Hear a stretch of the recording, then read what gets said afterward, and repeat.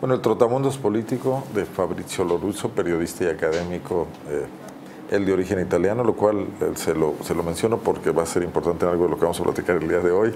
Hoy me parece que es más eh, pues importante que nunca revisar la visión internacional. Fabricio, bienvenido y muchas gracias. Porque muchas gracias. Estamos viendo muchas cosas en el mundo, noticias internacionales a más no poder, pues bueno, que nos ponen en una situación yo te decía como de prebélica y tú me dices, no, ya abiertamente bélica, ¿no?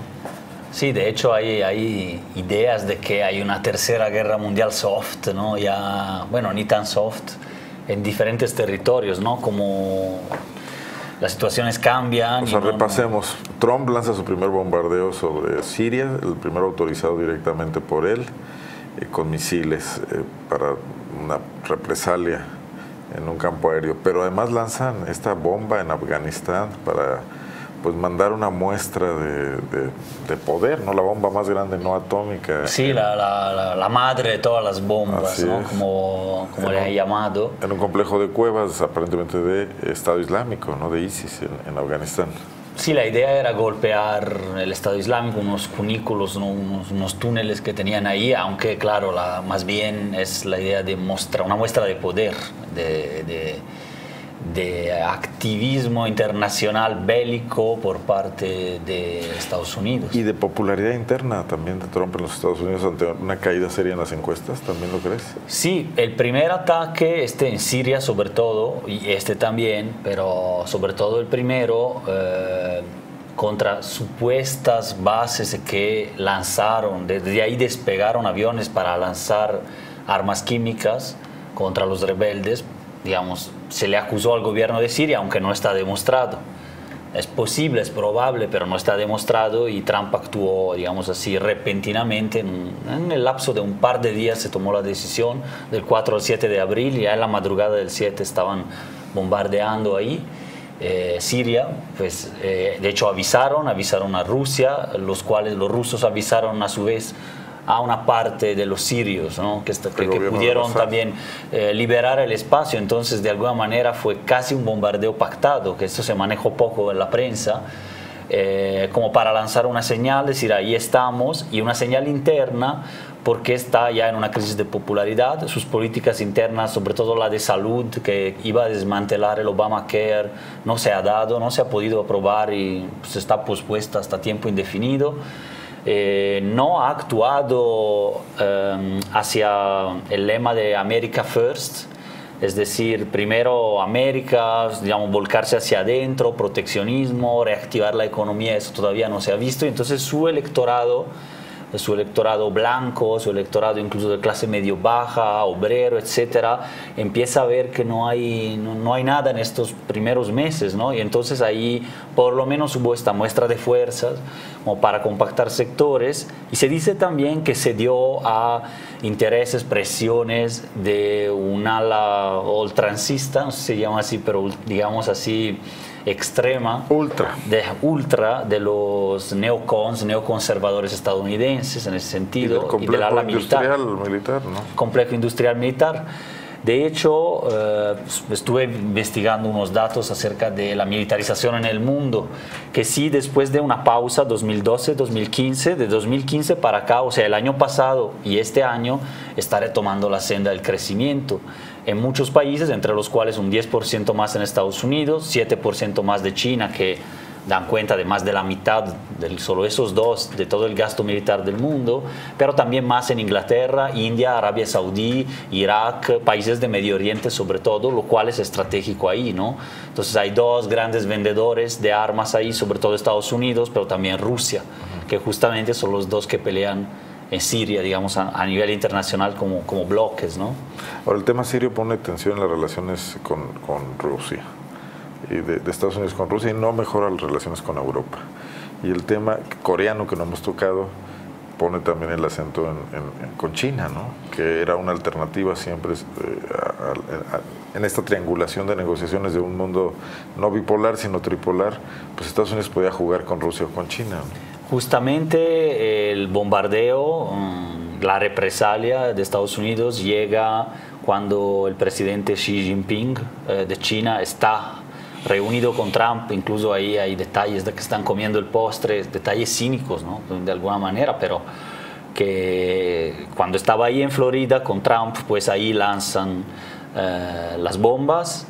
Entonces también parece ser internamente ya vimos, es una señal, compacta sectores, compacta la derecha estadounidense, pero también compactó de parte a sectores transversales eh, internos Estados Unidos que querían una mano dura ahí en Siria, pero por otro lado es una señal hacia Corea del Norte, otro país canalla, así llamado de las presentes administraciones de Estados Unidos como un enemigo eh, potencialmente nuclear que está mostrando el músculo ahí con, digamos, ejercicios nucleares, etcétera, protegido de alguna manera por China, pero tampoco de manera incondicional por los chinos, pero digamos cercano eh, al régimen chino y entonces pues ahí también se interpretó como otra señal de, de poder duro hacia en esa área también, ¿no?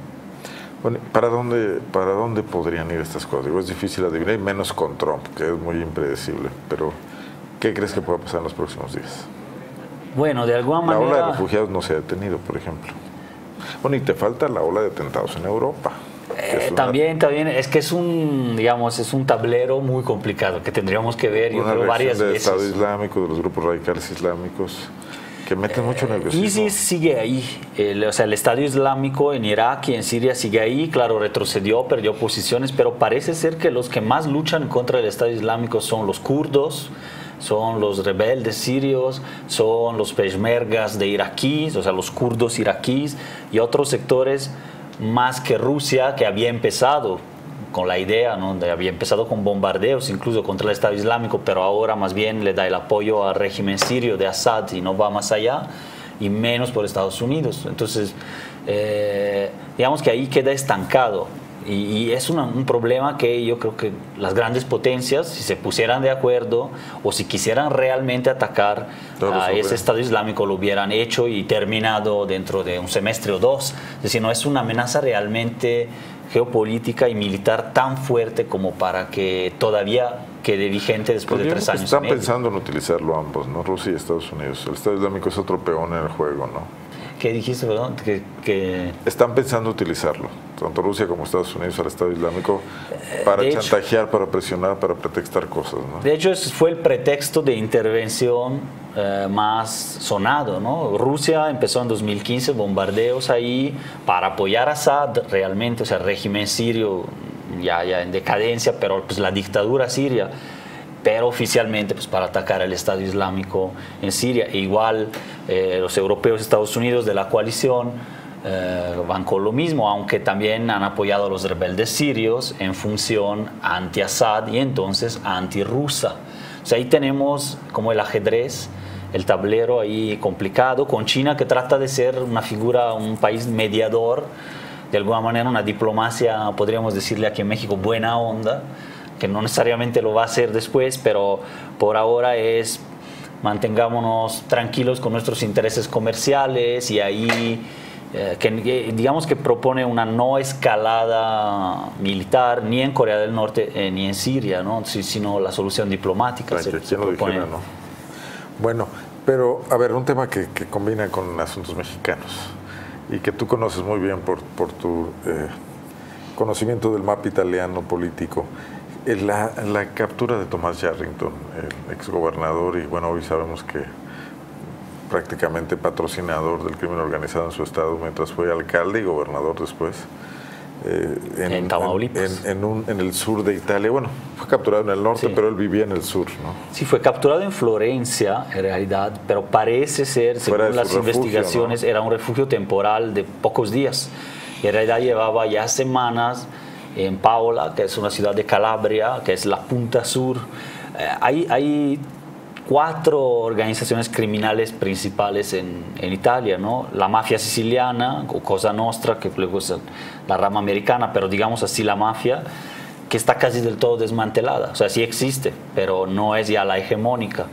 Las hegemónicas son la Andrangheta de Calabria, que es donde fue detenido Yarrington, bueno, detenido, donde pasó, parece, los primer, las primeras semanas, y la camorra napolitana, y luego está la Sacra Corona Unita de Puglia, de Apulia, de la, la otra, el tacón, pero la punta del pie es la que domina el tráfico de cocaína y heroína en Europa. O sea, la andrangheta es una sociedad tradicional eh, ligada a la masonería local también, con una gran tradición, pues, digamos así, de penetración en las instituciones también y de eh, comercio, tráfico de drogas, y sus socios en América Latina son los colombianos por un lado, pero sobre todo aquí en México fue históricamente el cártel del Golfo y los Zetas después ya cuando nacieron como, como brazo armado y luego ya como cártel independiente. Se parece haber ahí una, una conexión, pues como que La protección de, este grupo Landangreta a, a, a, Yarrington sería otra incriminación más, ¿no? De la, de la vinculación del, ex, del exgobernador con grupos criminales. Pues, ¿Por qué lo tendría que estar protegiendo, no? Pues, pues pueden ser pistas, seguramente. Sí, que el vínculo ha sido investigado por, o sea, hay averiguaciones, hay, hay sentencias en Italia sobre nexos entre figuras del cártel del Golfo, de los Zetas, como territorios también, Yucatán, tenemos presencia de la Andrangheta y algunos capos detenidos por este lado del país también, italianos. Y entonces, pues parece ser hasta lógico que él buscara algún refugio con antiguos socios o de alguna manera... No se, le, no se le ocurrió a Javier Duarte, pero sí se le ocurrió a Tomás Yarrington. Sí, fue de alguna manera más... Sí, Duarte pues, fue más al sur y pues Yarrington trató la vía, la vía europea, pero es muy difícil, digamos así, esconderse, yo digo, en Italia durante mucho rato. ¿no? ¿Para qué va a pasar con el juicio de extradición? Italia no lo va a retener mucho, lo va a soltar, lo tiene solicitado en por Estados Unidos y México. Por lo que se sabe, digamos ahí de, de, prensa italiana también que están, están siguiendo el caso bastante también, porque es digamos, algo importante y, y eh, tienen un par de meses para decidir, entonces por ahora queda ahí y parece que hay más probabilidades que, va, probabilidades que vaya a Estados Unidos. Claro. Es decir, que la operación realmente fue entre Italia y Estados Unidos, con un rol marginal de la PGR mexicana, que aquí en cambio en México se ensalzó y pareció como lucirse, pero en realidad parece una operación italoamericana más que italo-mexicana. Y en ese sentido, aunque tiene cargos en los dos países, ahí hay que ver cómo los desahogan, a cuál le dan prioridad, ahí sí entraría en cuestiones de jurisprudencia de derecho que no sé bien pero pues, lo que dicen es que posiblemente más a Estados Unidos que a México. Muy bien. ¿Y en Italia cómo caería esto? ¿Como un tema de folclore latinoamericano nada más? ¿Cómo lo sentiste en los periódicos italianos?